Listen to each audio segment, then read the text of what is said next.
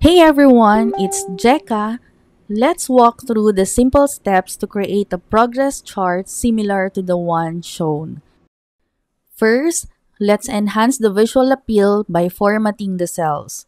We have two columns, completed tasks and pending tasks. Click on the cell in the spreadsheet where you want the total completed tasks to display.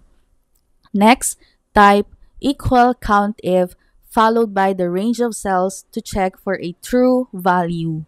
Your formula should look something like this.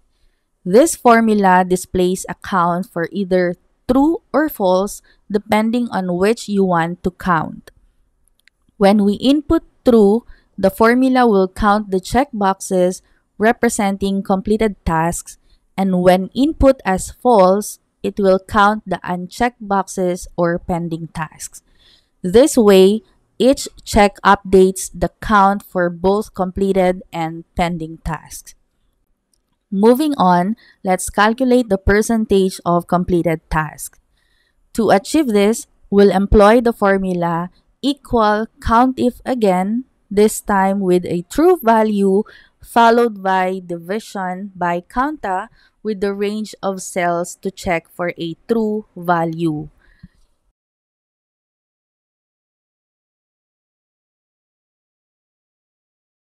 Now, let's proceed to construct the chart.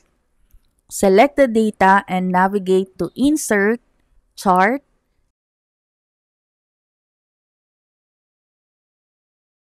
and choose for a pie chart and remember to toggle switch rows and columns.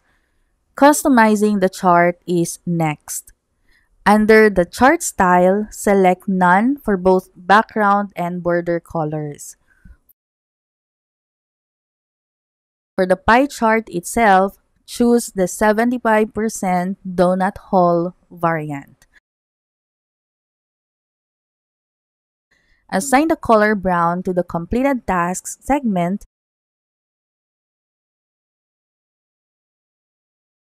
and white to the pending tasks segment. No adjustments are necessary for the chart and axis titles and to simplify, choose for none in the legend section. Now let's refine the appearance of the pie chart. Position the percentage of completion at the center of the chart and modify the background color to enhance clarity.